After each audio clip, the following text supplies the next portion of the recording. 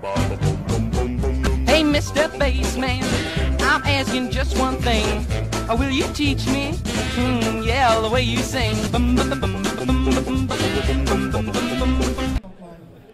Uh, ons eigen natuurlijk. Uh, wij... Ja, die mag je natuurlijk niet zeggen, hè? Ik vind natuurlijk mijn eigen pak ook heel mooi. Dus uh, ja, ik vind mijn, het pak van mijn team vind ik, ja, vind ik wel een mooie uitstraling hebben ja, ik, ik vind die van ons eigenlijk het mooiste. Dus dat is dan, eh, dan lastig om dan een andere... Ja. Ik vind eh, ja, ons eigen pak vind ik altijd mooi omdat we gewoon opvallen. En we hebben al, eh, al jarenlang hetzelfde pak. Dat vind ik gewoon heel mooi dat het niet verandert. Ja, ik vind die van ons, eh, ik vind dat wij er ontzettend eh, tof, eh, een tof pak hebben met de autootjes erop.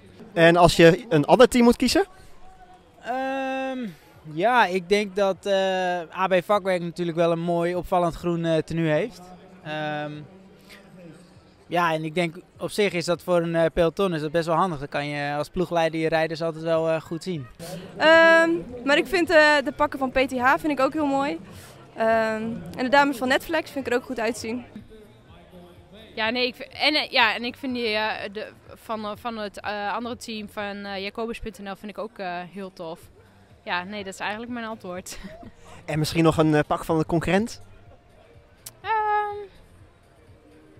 Ja, nou ja, dan het liefst eh, iets met zwart. Is er eentje die eh, heel erg eh, voornamelijk zwart is? Ja, bij de mannen, hè? Oké. Ja. Nou ja, als ik een mannen, een mannenteam, dan zou ik zeggen het pak van oké, inderdaad. Ik vind het rood van, eh van Bouw en Techniek vaak wel heel opvallend en mooi, eh, mooi staan. Maar goed, ik heb nu natuurlijk mooi blauw aan, dus ik, ik zeg nu ga ik voor blauw.